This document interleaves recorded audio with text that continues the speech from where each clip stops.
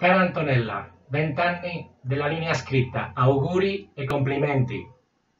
Prima volevo farti i miei complimenti perché Antonella Cilento, prima di diventare mia amica, la ammiro moltissimo come scrittrice, soprattutto l'autrice di Non è il paradiso, dove dice ciò che di solito gli scrittori non dicono e dunque è diventata una Matilde Serao contemporanea, eh, brava e coraggiosa. E poi con Lisario, che mi sembra una rivisitazione brillante della tradizione di Basile, eh, e dove la Cilento diventa una ortese limpida e chiara, e riesce a fare, secondo me, un romanzo indimenticabile.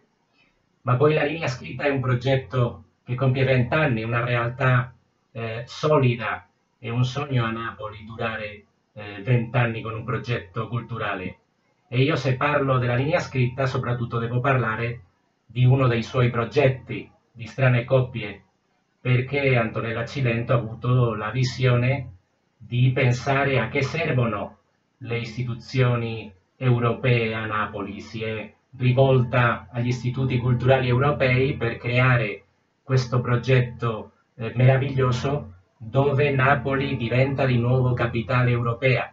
Se accettiamo che nel 1799 Napoli è uscita eh, dal treno della storia europea, eh, Antonella Cilento fa il suo contributo per ricollegare Napoli al meglio della cultura europea con questo progetto che io ho seguito molto da vicino, che ammiro e che spero vedere per tanti anni.